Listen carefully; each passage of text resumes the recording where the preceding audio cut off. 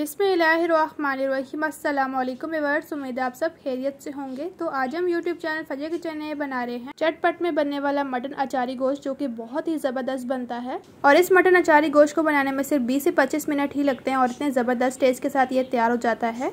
Recipe को full watch कीजिएगा। Recipe में मैं टिप भी दूँगी किस तरह से आप गोश्त की स्मेल ख़त्म कर सकते हैं।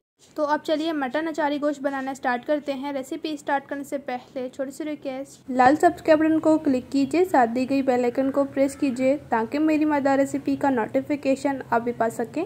शेयर थम्स अप दीजिए। मटन अचार गोश्त बनाने के लिए हमने वन के से थोड़ा ऊपर है, यानी कि एक किलो से थोड़ा ऊपर गोश्त है, और ये बकरे का गोश्त है। और गोश्त को हमने अच्छी तरह से वॉश कर लिया है। अचार गोश्त जो है हम प्रेशर कुकर में बनाएँगे, इसीलिए हमने एक प्रेशर कुकर ले लिया है। फ्लेम को ऑन कर लेंगे और इसमें हम ऐड करेंगे हाफ़ कप ऑयल और अब इसमें ऐड करेंगे गोश्त। गोश्त को हम अच्छे से मिक्स करेंगे। आप मटन गोश्त बनाने के लिए बड़ी बोटियाँ यूज़ कीजिएगा। हमने भी बड़ी बोटियाँ यूज़ की हैं क्योंकि जब इनको फ्राई करते हैं तो ये साइज़ में छोटी हो जाती हैं। एक टिप देती चलूँ कि जब भी आप अचार गोश्त बनाएँ तो गोश्त को जो है वो आप ऑयल में फ्राई करें और जिंजर गार्लिक ऐड करें। इससे जो है गोश्त की स्मेल नहीं आती क्योंकि कुछ लोगों को गोश्त की स्मेल पसंद नहीं होती। अब इसमें ऐड करेंगे two tablespoon ginger garlic paste बिस्मिल्लाहिर्रहमानिर्रहीम अब अच्छी तरह से मिक्स करेंगे। अब लहसुन अदरक की खुशबू आने तक गोश्त को हम भून लेंगे। अब माशाल्लाह लहसुन अदरक की खुशबू आना शुरू हो चुकी है। अब इसमें ऐड करेंगे हाफ़ टेबल स्पून नमक या फिर हसबे जायका और मिक्स करेंगे अच्छी तरह से। और गोश्त को हम मज़ीद भून लेंगे। अब माशाल्लाह गोश्त अच्छे से भून चुका है। वन टेबल स्पून साबुत धनिया पिसा हुआ, हाफ़ टेबल स्पून कश्मीरी लाल मिर्च, हाफ़ टेबल स्पून हल्दी। अब इसमें ऐड करेंगे टू टेबल स्पून अचार गोश्त मसाला। और अब मिक्स करेंगे चार तो हमने टमाटर लिए थे, जिन्हें हमने सेंटर से कट लगा लिया है। इस तरह से हमने टमाटर को ऊपर रख दिया है। अब इसमें ऐड करेंगे वन गिलास पानी।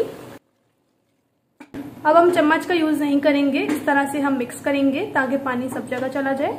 और अब हम मटन अचार गोश्त को पाँच मिनट तक प्रेशर लगा देंगे। अब पाँच मिनट तक हम प्रेशर लगा देंगे। ये हमने कुछ हरी मिर्च ले ली हैं, बड़े साइज़ वाली। और वन टेबल स्पून अचार मसाला लिया है। अचार मसाले के ऊपर हम ऐड करेंगे लेमन का जूस अब अच्छी तरह से मिक्स करेंगे। इसमें हमने एक अदद लेमन का जूस ऐड किया है। अब एक मिर्च उठाएँगे और इस तरह से मसाला इस मिर्च के अंदर भर देंगे। अच्छी तरह से। इसी तरह से हम दूसरी मिर्च के अंदर भी अचार मसाला डाल देंगे। अब माशाल्लाह पाँच मिनट हो चुके हैं और इसका प्रेशर हम उतार देंगे और कवर भी रिमूव करेंगे। और माशाल्लाह अभी से मटन अचार गोश्त की खुशबू आना शुरू हो चुकी है और टमाटर सॉफ्ट हो चुके हैं, जो इनका छिलका है, वो हम रिमूव कर लेंगे। अब टमाटर्स का हमने छिलका रिमूव कर लिया है। अब मिक्स करेंगे। बिस्मिल्लाहिर्रहमानिर्रहीम। अब माशाल्लाह टमाटर अच्छे से गल चुके हैं। टमाटर का छिलका रिमूव करना था। अब इसमें हम एक गिलास पानी ऐड करेंगे।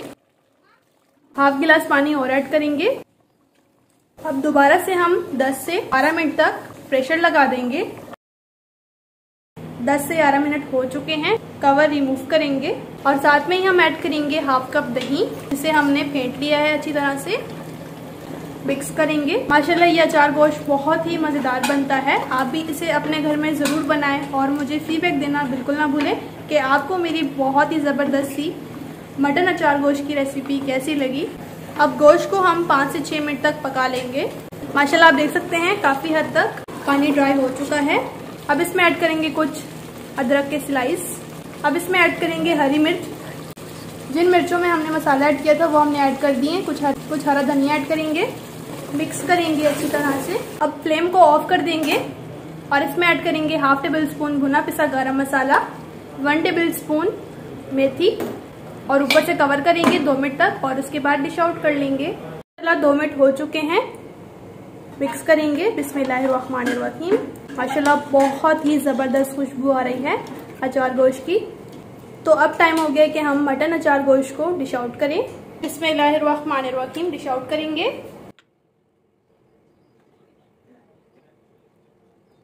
अब माशाल्लाह मटन अचार गोश्त को डिश आउट कर लिया है।